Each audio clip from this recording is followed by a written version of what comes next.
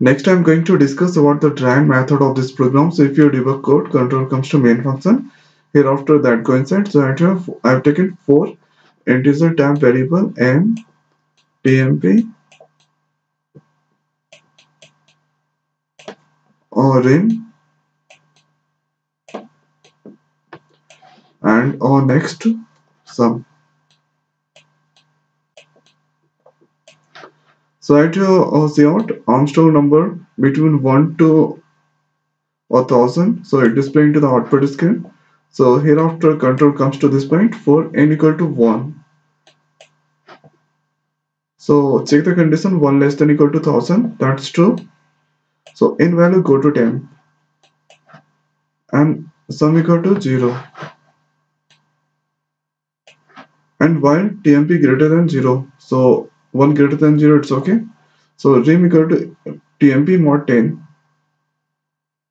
so 1 mod 10 so rim become 1 and sum equal to sum plus rim into rim into rim so sum value is now 0 0 plus 1 into 1 into 1 so it 1 and 0 plus 1 so sum become 1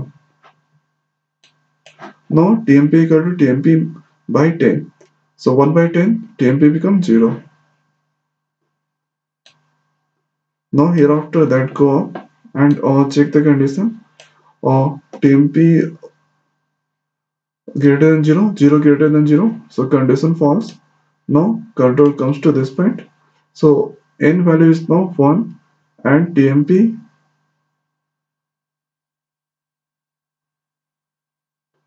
or TMP value is uh, 0 so no sorry. 1 n value is now 1 and sum value 1 so both number is true. So I enter this go to the cout and it display 1 and comma. From here that go up and increase the value of n. So n become 2 or check the condition 2 less than equal to uh, 1000 that's true so again that coincides. So n value go to TMP. So TMP become 2, sum become 0 and while TMP greater than 0, 2 greater than 0 that's true, that coincide. So rim equal to TMP mod 10. So 2 mod 10 or uh, rim become 2 and now sum equal to sum plus rim into rim into rim sum value is now 0 0 plus 2 into 2 into 2 8 0 plus 8 sum become 8 so right here or tmp equal to tmp by 10 so 2 by 10 tmp become 0 now hereafter on that go up and check the condition so TMP greater than 0, 0 greater than 0, condition false. So control comes to this point. If n double equal to same, so n value is not 2, n uh, sum value 8. Also 2 double equal to 8, so condition false. So it not print. And hereafter that increase the value of n.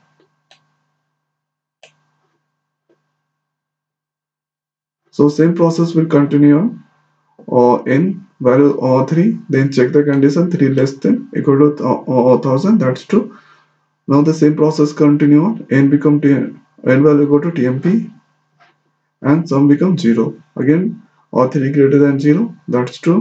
Again the same process continue like to again if the value reach at 153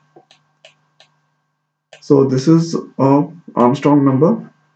So when the value reach at 153 so at this check condition 153 greater than less than equal to 1000 that's true. So n value go to tmp so or tmp become 153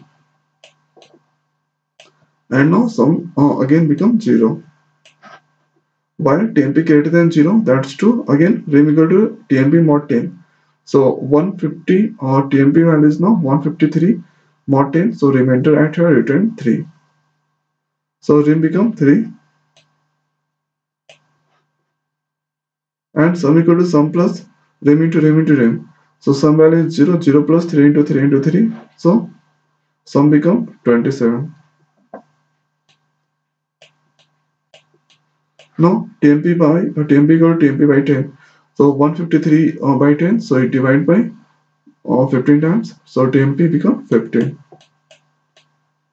now that go up check the condition 153 greater than 0 that's true. Now again the, that coincides rim equal to 10 point 10 so tmp is now 15 15 more 10 so it divide. So at your remainder return 5 so rim become 5 now. Or sum equal to sum plus so 20 sum value is now 27 or 27 plus or rim value is now 5 5 into 5 into 5 so 125 so sum become oh, 27 plus 27 plus 125 so sum become 152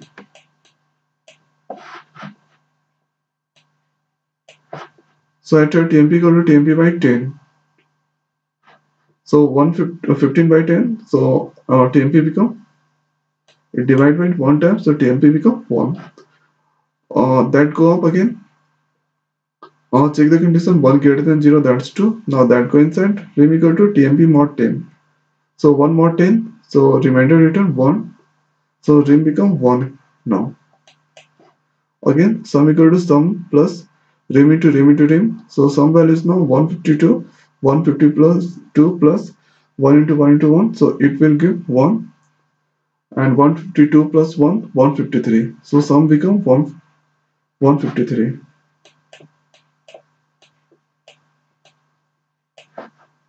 so tmp equal to tmp by 10 so 1 by 10 or tmp becomes 0 now that got check the condition 0 greater than 0 condition not true. Now control comes to this point.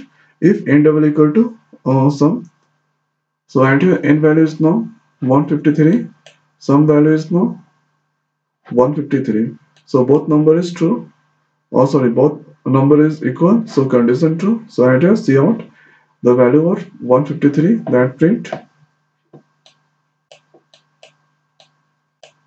And comma. So if you check 154 so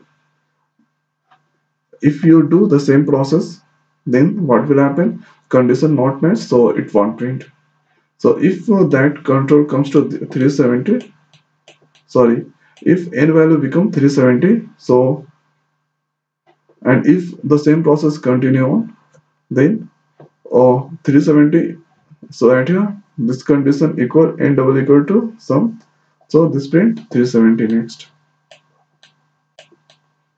And if n become 371 if same process continue on like this on so n value is now 371 sum become or 371 so it means 371 so at your the Armstrong number 1 153 370 371 or you should uh, try to check with other number like 373 so enter number 373 and sum uh, so it won't be equal so enter it won't print so hereafter if the condition if n value reach at or uh, 1001 and hereafter that check the condition 1001 or less than equal to 1000 so condition false so that out from a for loop yeah so i hope guys you understand the logic so, so thanks for watching. See you next week.